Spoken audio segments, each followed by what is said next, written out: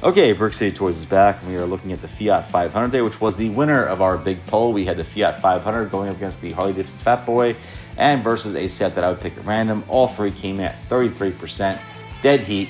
So I'm going with the Fiat 500 because the bright light yellow was the color of my mother's kitchen growing up.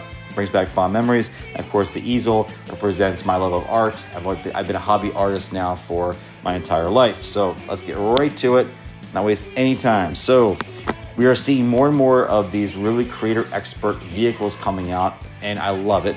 It's awesome.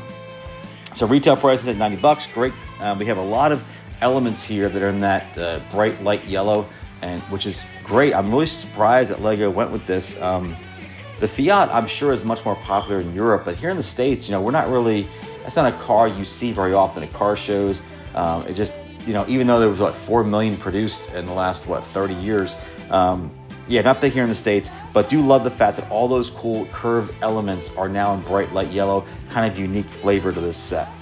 So, as I said before, the Fiat 500, you don't really realize how small the car is in actual real time because like here in the States, I've never actually seen one. I've been to about, what, 10 car shows over the years. Never seen one there. Mainly, like I said before, a, a European Italian car.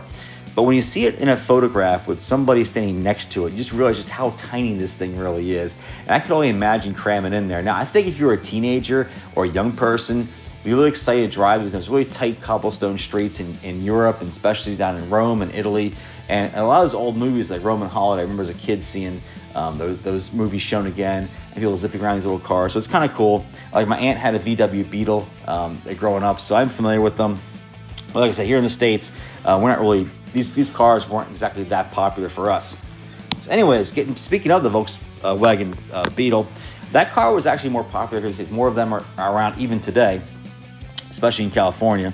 So released in uh, 2008, this was one of Lego's first creator expert uh, vehicles that they had done, and you can see back then they didn't have all the elements that were curved to really give you that nice contour of what the Beetle kind of is. But it has kind of that bricky look, which I think is still okay, It's still kind of charming. It takes you back to how Lego was, you know, back in the um, early 70s and beyond. So I'm okay with it. It retailed for $120 back in the day, and currently it is doing much better, reselling at $560, part out value of 497. That is an increase of 350% and per year 26%. Now, keep in mind though, there's only seven of these right now. They're still sealed that I found that were even for sale.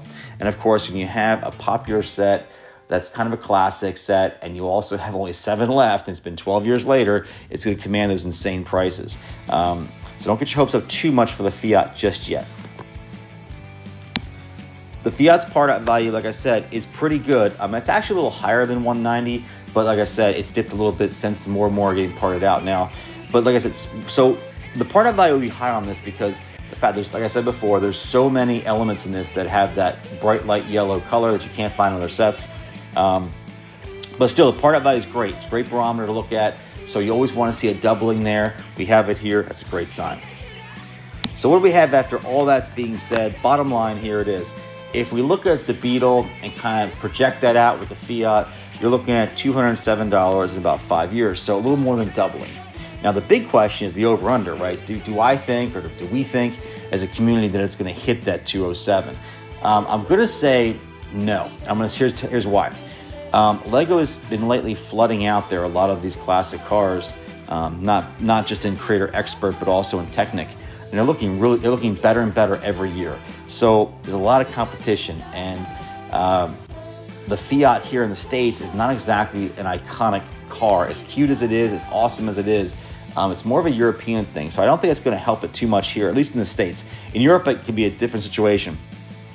So I definitely think those things being said, we're probably looking at under $207. I think still reselling well, but I, am putting it around 150 uh, in five years. So I, I, really, I can't recommend picking this up, um, at least not for retail. If you find one for 20% off or 30% off, well then by all means go for it. You have, you have some room to grow, but just at retail price and holding it for five years, uh, I don't think that's the best choice. I can't.